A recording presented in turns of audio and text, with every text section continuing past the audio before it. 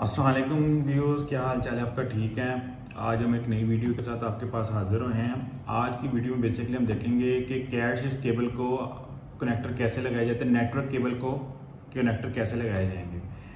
ये एक हमारे पास नेटवर्क केबल है। इसमें connector basically R J forty five लगेगा, ये कनेक्टर हैं इसके।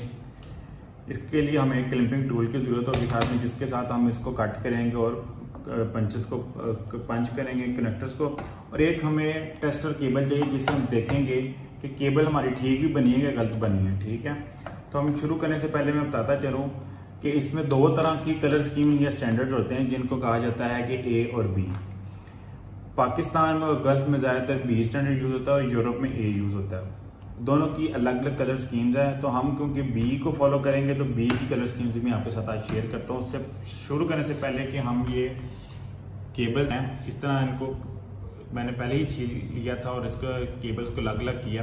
अब हम बी को फॉलो करेंगे तो बी को देखते हैं कि उसके लिए white orange orange white green blue ये white blue then green white brown और ब्राउन ये कलर स्कीम है, इसके मुताबिक हम इसको बनाएँगे और ये फिर हमारी कम्युनिकेशन होगी, ठीक है? दोबारा कंफर्म करते हैं white orange orange white green blue white blue green white brown और ब्राउन ठीक है जी?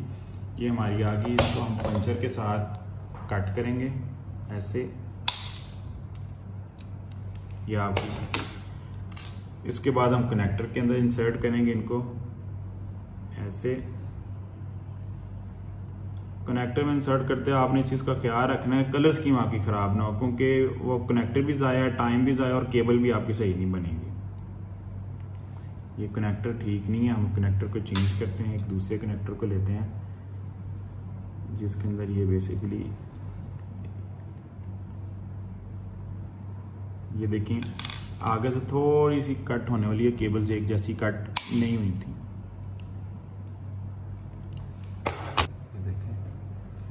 ये जैसे ये इंसर्ट हो जाएगा, उसके बाद हमने ये क्लिपिंग टूल में, ये सेंटर में इसका है इसको करके ज़ोर से प्रेस करके और ये टिक की आवाज़ आएगी इसका मतलब ये पंच हो गई। इसके बाद उसके सेकेंड हैंड पे आएँगे, उसमें भी सेम इसी तरह कलर स्कीम्स को हम फॉलो करेंगे। White orange orange white green blue white blue green then white brown brown और हम कनेक्टर लेंगे। इसी तरह कनेक्टर से इसमें इंसर्ट करेंगे और ये देखें, ये भी। पंच ठीक है? इसको भी इसी तरह पंच करेंगे।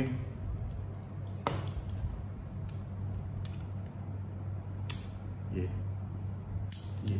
टिक की आवाज़ आगे, इसका मतलब ये पंच होगा अब हम केबल टेस्टर लेंगे जिससे हम चेक करेंगे केबल हमारी ठीक बनी है या नहीं बनी है। एक एंड इसका पॉइंट होगा मेन पे, और एक है इसका लूप है इन दोनों पे इंसर्ट करेंगे केबल को। पावर ऑन करेंगे। इसके बाद ये यहाँ पे आएँगे तो ये आपको ऑप्शन देगा। वायर मैप और पे लेंथ पे आपने इसको यहाँ पे प्रेस करना टेस्ट करना है। ये देखें, ये है फेल्ड ये है लूप है कि फ़र्स्ट केबल जो है, ये बेसिकली आपकी ठीक नहीं लगी। बाकी कलर देखें, एक जैसे आ रहे हैं। One two three four seven eight तक एक जैसे हैं। लेकिन यहाँ पे रहा है कि आपका फ़र्स्ट पेयर की केबल है, वो ठीक नहीं लगी। और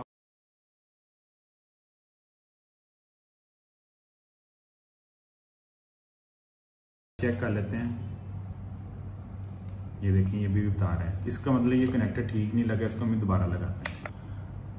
जी तो गाइज़ आपको पता है कि पहले वो एक साइड से एक केबल का मसला आया था गलत हो गई थी। अब हमने दोबारा इसको कट किया है तो हम इसको उसी तरह ही बी स्टैंडर्ड के मुताबिक बनाएँगे। वाइट ऑरेंज ऑरेंज ये white green then blue, then white blue, then green white brown और ब्राउन ये हमारे पास रेडी होके आ गए। इसी तरह इसको कनेक्टर में लगाएँगे और हम फिर इसको पंच करेंगे। कनेक्टर लेते हैं।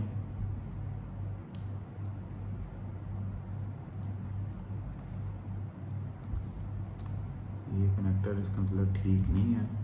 हमें एक और कनेक्टर रखना तो अच्छा था जिसमें इसको चेक करते हैं। कलर स्कीम आप चेक कर लें। कलर स्कीम में आपकी गलती नहीं होनी चाहिए, वरना आपको कनेक्ट और टाइम दोनों ज़ाया होते हैं। ये देखें। ये हमने एंटर किया है। ये। ये। इसी तरह हमने ये इसको पंच किया। और ये।